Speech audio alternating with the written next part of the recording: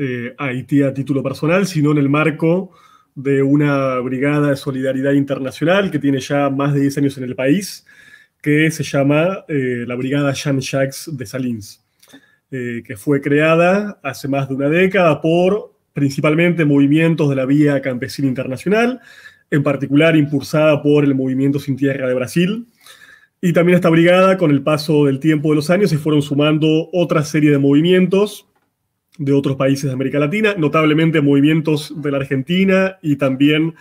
eh, de Cuba, que hacen parte de una otra articulación de movimientos, eh, esta específicamente continental, que se llama la articulación de movimientos sociales hacia el ALBA.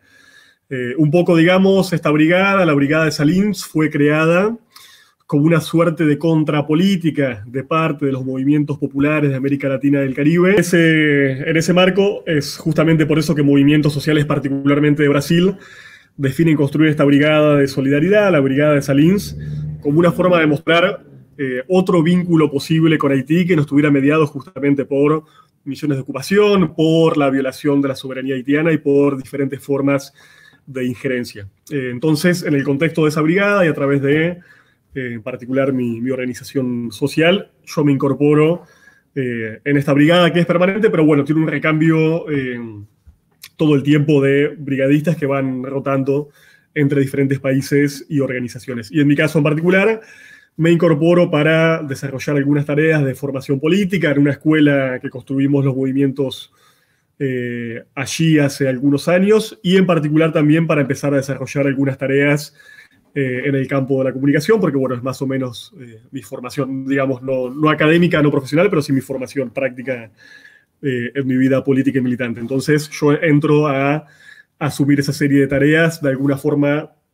intentando hacer como un nexo entre los movimientos sociales locales y los movimientos continentales y también algunas agencias de prensa realmente muy escasas, las que tienen, por supuesto, algún tipo de interés en comunicar lo que acontece eh, en Haití. Me gustaría que tú pudieras pasar para nosotros eh, qué fuerzas están actuando en el Haití en las calles, quién está organizando la gente, qué se, qué se, se vislumbra el futuro, hay posibilidades de una salida soberana al pueblo haitiano, cómo tú lo observas el contexto haitiano hoy desde dentro. Mira, retomando con lo anterior, primero decir que el, movimiento popular, eh, los sectores movilizados en Haití fueron muy castigados por la ocupación de la MINUSTAH, que en conjunto con la misión sucesora de la MINUSHUS duró 15 años y tuvo una política de represión sistemática sobre el movimiento popular, que incluyó el uso de la violencia sexual como herramienta de guerra, la comisión de masacres y una serie de políticas de desmovilización activa. Desde más o menos el año 2016 empieza a haber un reemerger del movimiento social eh, con algunos ejes particulares. En primer lugar, contra una serie de presupuestos estatales eh, de ajuste y profundamente impopulares que fueron siendo aplicados por el partido de gobierno. Y notablemente tuvimos un punto de quiebra en el año 2018, cuando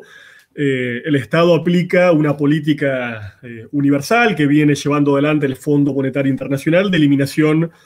del subsidio a los combustibles, lo cual en el caso de Haití implicaba el aumento de las naftas y el querosén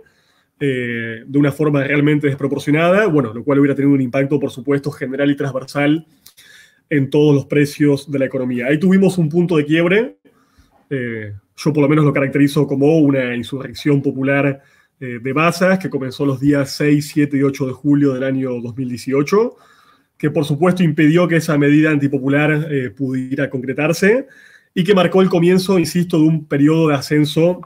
de la, movilización social que prácticamente se ha desempeñado sin solución de continuidad hasta el día de la fecha. O sea, ya vamos eh, tres años de movilización social muy intensa, de protestas callejeras, eh, con un epicentro, por supuesto, en la capital Puerto Príncipe y en su zona metropolitana, pero con réplicas eh, permanentes en prácticamente todas las capitales departamentales del país. Los sujetos movilizados, que es más precisamente tu pregunta, son muy diversos. Eh, en buena parte están de alguna forma convocados espontáneamente por las propias eh, y muy desiguales condiciones de vida de la gran mayoría de la población haitiana. Y hay, por supuesto, también, como en todos lados, una serie de sectores organizados en movimientos sociales, partidos políticos, sindicatos y otro tipo de organizaciones. En los últimos años, eh, el protagonismo de calle más destacado ha estado en el movimiento, me parece a mí, más claramente urbano y sobre todo urbano juvenil, eh, sobre todo en la zona de las periferias más populares de la capital Puerto Príncipe. Pero siempre históricamente el movimiento campesino de Haití tuvo una importancia fundamental, primero porque cuenta con las organizaciones sociales realmente más sólidas, más fuertes, eh, nacionalmente estructuradas, con una base me parece a mí más organizada. Entonces, bueno, se han combinado este poder organizativo y esta capacidad de articulación del movimiento campesino y la enorme radicalidad y espontaneidad de estos sectores eh, más bien populares eh, y juveniles. Todo bueno, por supuesto, también influenciado y mediado por la existencia de una serie de partidos políticos, que en el caso de Haití los partidos políticos suelen ser formaciones más bien eh, pequeñas, débiles, si comparamos por lo menos la dimensión de los movimientos sociales. Pero bueno, estos partidos tienen su capacidad e intentan de alguna forma eh, influir y orientar con sus programas y sus consignas esta enorme movilización popular que encontramos en el país. Y después, como un tercer actor, me parece que señalaría, por supuesto, la existencia de una clase política de tipo más bien tradicional. Hoy buena parte de ella, eh, digámoslo así, casualmente opositora al gobierno nacional de Jovenel Moïse, pero bueno, una clase política eh, muy conservadora que se ha reciclado con el paso del tiempo y ha participado eh, prácticamente en la totalidad de los últimos gobiernos desde la llegada de la democracia en el año 86. Eh, Eso de ser los movimientos sociales, lo, que tiene más fuerza que los propios partidos, es un drama latinoamericano porque cuando se llega la hora de tomar el poder, bueno, cae las cabezas, donde eso pasa en Haití también, ¿no? Me parece. Sí, absolutamente, absolutamente. Eso es un problema. También inciden, me parece, otros factores. Eh, ahí es importante mencionar las presencias de las grandes ONGs europeas y norteamericanas, muchas de las cuales actúan directamente como una suerte de rama civil de las políticas imperialistas en el país, que bueno, han tenido un papel, me parece a mí, eh, bastante perjudicial y bastante notorio a la hora de, por ejemplo, cooptar algunos de los mejores cuadros eh, medios o dirigentes principales de todos estos movimientos sociales y partidos políticos, que sería justamente el tipo de personas que podrían de alguna forma capitalizar, digamos, algún tipo de alternativa más transformadora en el país. Pero bueno, sí, eso que vos decís como constante latinoamericana, absolutamente se expresa en Haití.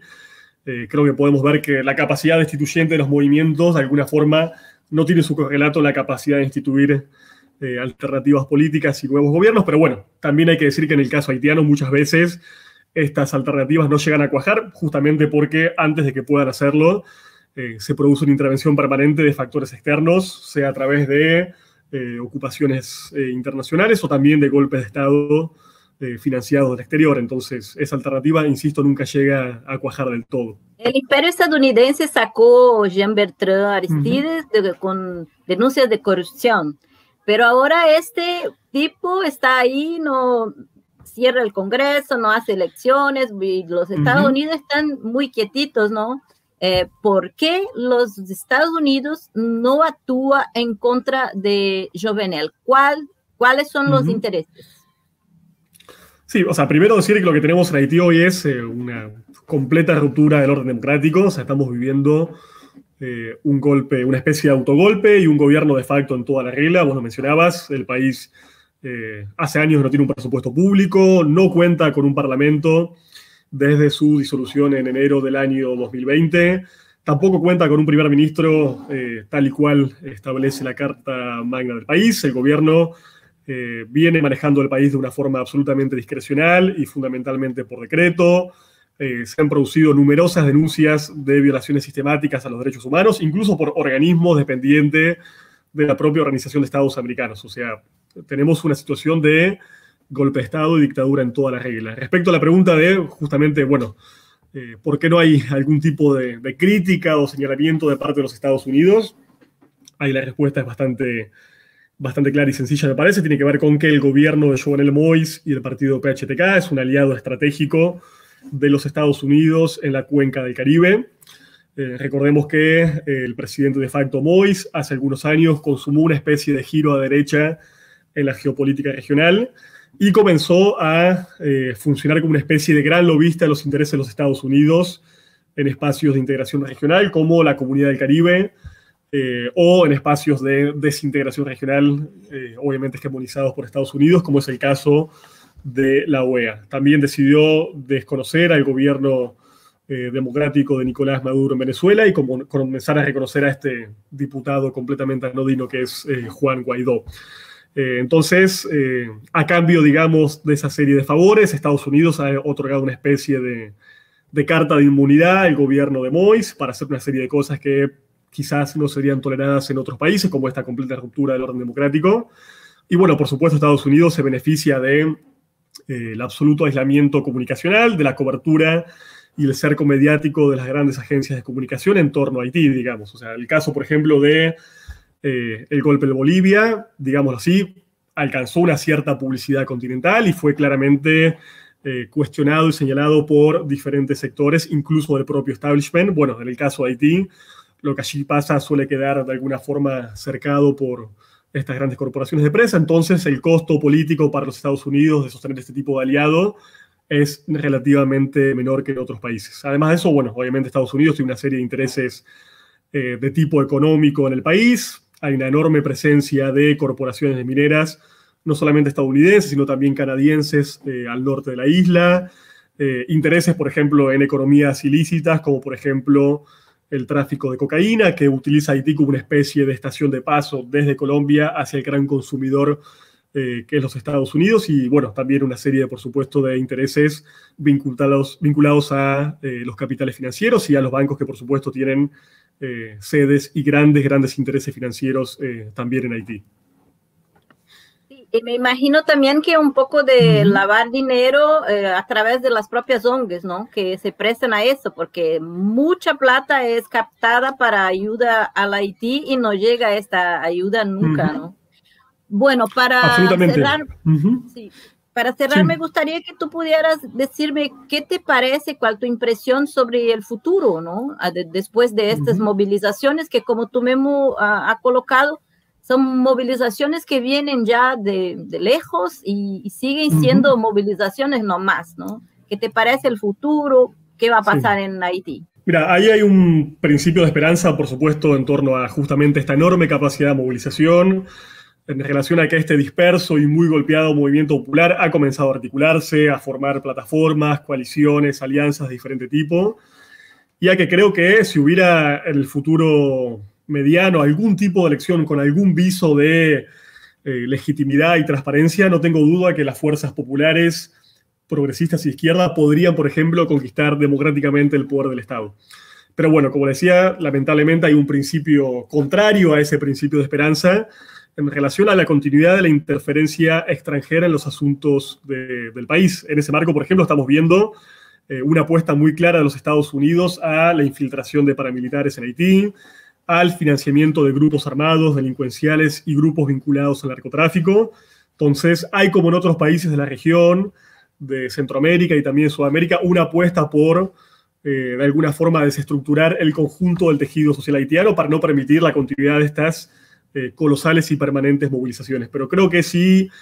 eh, digamos así, la otra comunidad internacional, el conjunto de los movimientos sociales, eh, la comunicación no corporativa y los espacios de integración regional pueden visibilizar y meter de alguna forma una cuña para defender el derecho de los haitianos y las haitianas a su soberanía. Hay un principio, insisto, de esperanza y grandes posibilidades de transformación social. Por lo menos el presidente y el gobierno actual eh, sabemos que no cuenta con ningún tipo de legitimidad popular y que si no fuera por sostener estos factores de poder internacional, hace tiempo de hecho que habría caído y estaríamos viviendo una transición de tipo, me parece a mí, eh, democrática y bastante más eh, progresiva.